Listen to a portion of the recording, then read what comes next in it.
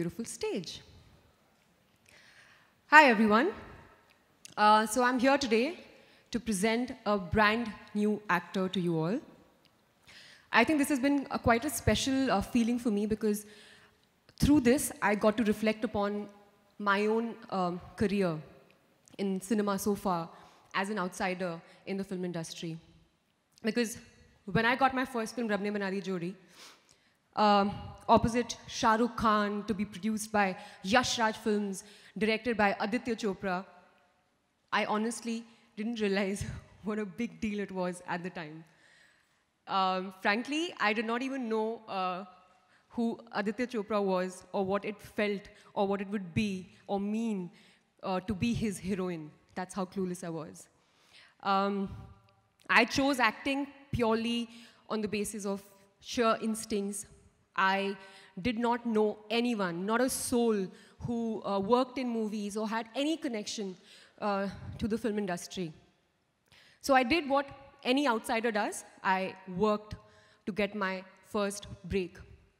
I auditioned, and in one such audition, I got Rab Ne Bana Di Jodi. Thank you, God. Um, but you know what I feel? I feel that honestly, because I didn't have any legacy to live up to or any sense of familiarity with how cinema works and whatsoever, um, I feel like it, it, it gave me a kind of determination and confidence that has definitely helped me uh, to be here and has enabled my journey so far in the movies. Um, today I do a lot of films. I, I even produce some. Um, so I'm very grateful. Um, but I feel that um, um, there are a lot of people that I've been very grateful to uh, and I'm very thankful for uh, who have helped me in my journey so far. Um, and Yashraj is paramount, Aditya Chopra, because he believed in me, he believed in my talent when I guess uh, nobody did. I come from outside, so so you know, um, I had no, I had no legacy, or not, nobody, nobody knew anything of me, and he chose me purely on the basis of what he felt I possessed, which was the talent that I had, and I'm so grateful to him. And I think as a company, Yashraj has always done that. You know, it has always backed talent first, before legacies, before connections, before um, perceptions, and. Uh, uh, I know so now with, with so many examples that we have seen of, of actors being launched by the production house that, um, that here, if no matter who you are, where you come from, if you have what it takes to become an actor, YRF will back you. And because they believed in my talent, I'm here, standing here today, and very, very happy and proud to present to you all another very young, smart, talented actor who's also determined to make it on her own steam. So guys, without further ado, I would like to um, introduce the new YRF girl, Anya Singh. Please cue the video. Come, please. Anya, please come and join us.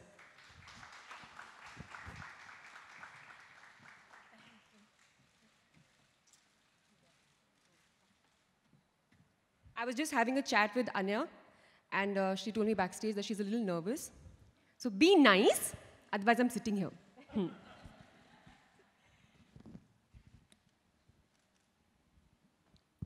Beautiful video. Thank you, thank you. Uh, thank you everybody for coming this evening. It means a lot to Aadar and me. So I'm just going to ask Anya, I'm just going to ask you a few questions that I've been dying to know. I've just met her today backstage, and we've had a little chat, but, but please tell me, how has the journey been so far? Because there's a life, right? There's one life before you sign your, fun, one, your first film, and then there's the other. Like literally everything just changes. It starts to feel different.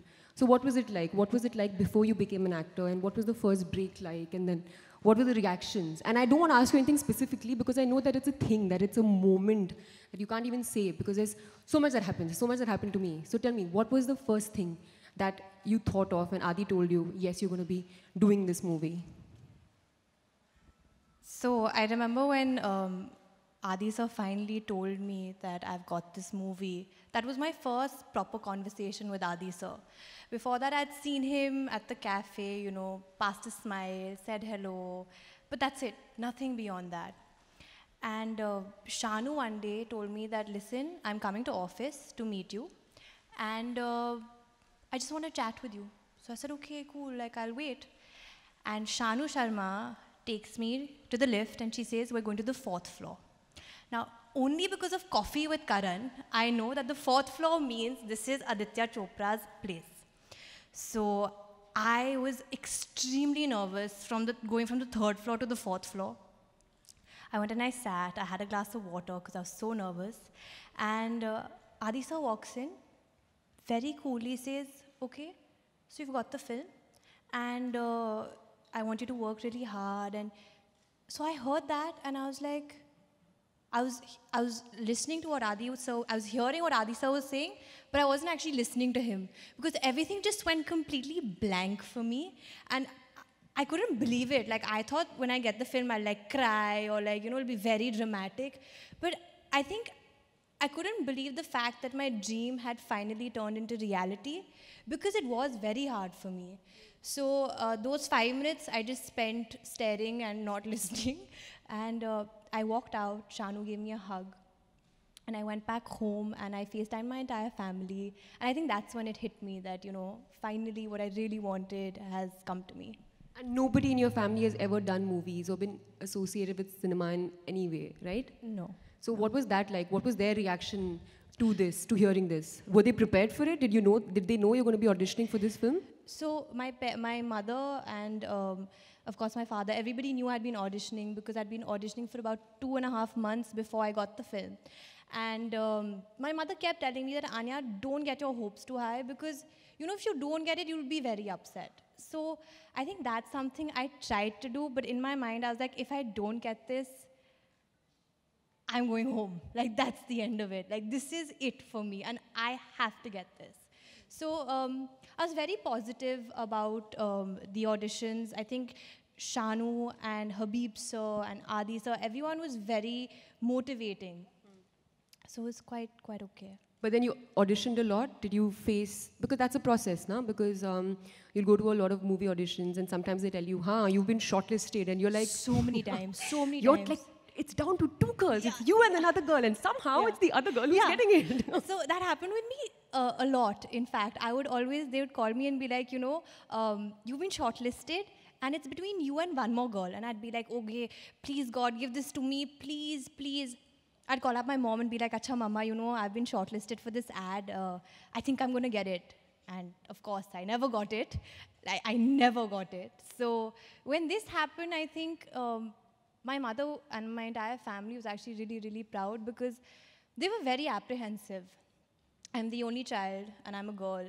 And since we're outsiders, uh, there's this perspective that this is a big, bad world. And you know, if you don't have somebody to support you, you're going to get lost, or nothing's going to happen, or you're going to go down the wrong way. So um, my mother was very, very apprehensive. It took me a year to convince my mother and my family that uh, to please let me come to Bombay because um, it was my dream. And I kept telling my mother, if you don't let me go and if you don't let me do this, I will always blame you and I will always regret it for the rest of my life. Because I'd rather go, get rejected, but I know that I gave it a shot, you know, rather than, acha, I could have gone, but then mama didn't allow me to, do, to go. So, yeah.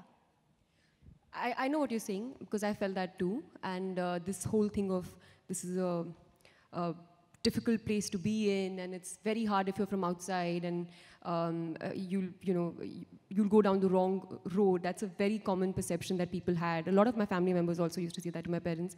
But tell me something, because you are from not from the industry, um, and you know this is the perception that is built up about it how do you continue dreaming to be this, to, to, to become an actor? You know what I'm saying? There's a, there's a natural restraint that is somehow uh, is un, unsaid, but it's there, right? That it's difficult, it's, it's hard. But so how do you continue feeling motivated and focused to, to, to work towards this place? So when I came to Bombay, uh, my mother had made it very clear that I'm giving you one year, Anya. And if within that year you don't get something, you're coming right back and I'm sending you to pursue your master's. Because my mother was very keen that I studied. So when I came to Bombay, I had the pressure of not only a timeline, but also like, will I get anything? Then as time passed, you know, months went and I went for audition and auditions and I didn't get anything. There were a lot of times when I questioned myself and I was like, was this the right choice? I gave up everything and I came to Bombay not knowing anybody, not only from the industry, but even outside. I had like two friends in Bombay. So was this the right choice? But then, since the first movie that I watched in my life, which was Dil To Pagal Hai on screen, it stuck on. So obviously there was something in me that kept pushing me and saying that, listen, your entire life you wanted to do this just give it a shot and just keep trying. Chalo, you have one year. That one year at least push yourself and go for every audition possible. You'll get something. So I think that that that is what really motivated me. The fact that this was my dream and I gave up everything for my dream. So I felt like I had to get it and I was here to get it. So yeah. Nice. And how is it working with Yash Raj Films to be launched by the banner? I mean, it's it's I can't believe this has happened with me. Um, it's very surreal. It's anyone's dream, I feel, to be launched by such a prestigious banner. And uh, Yash Raj is now family, I feel, you know. I, I don't feel like I'm a new person because I feel like I have a whole family backing me. So if I, if I have a question, if, if, I'm, if I'm uncertain about something, I know that I, there are 30 people I can go up to and be like, listen, I'm really confused. Can you help me with this? Which if I wasn't a part of this family, I think I would have been very um, nervous and lost. Yeah. yeah. Which is the best thing, right? Because while they give you that support and you know you can always um, go to them with any kind of um, when you're feeling a little hesitant about something, but at the same time you're you're also always made to be your own person. And they encourage that. They encourage you to be the person that you are and to not become like anybody. And when you come from outside the industry, you're anyways, there's no sense of kind of familiarity or, any kind of baggage that I have to be a certain way or this is how an actor must be and should be. And I think that is encouraged here, which is what I, I think, I mean, I should share with you all also, which is what I think is most amazing about, about uh, Yash Raj Films, that you're always encouraged to become your own person. And whoever you are, you build up on that. Um, and yeah, and that's why it's, of course, with Yashraj being such a big banner, but that's another thing which I think is equally, equally important and um, helpful. No? Definitely, definitely. I agree with you completely because uh, they do encourage you to be your own person and um, at the same time they'll help you with whatever and they'll keep motivating you and pushing you and i think they've given me a lot of confidence which is something i was lacking because i'm so unfamiliar with this world so I think that's something they really gave me. Like this. It was them that said you can do this. So yeah. You look lovely.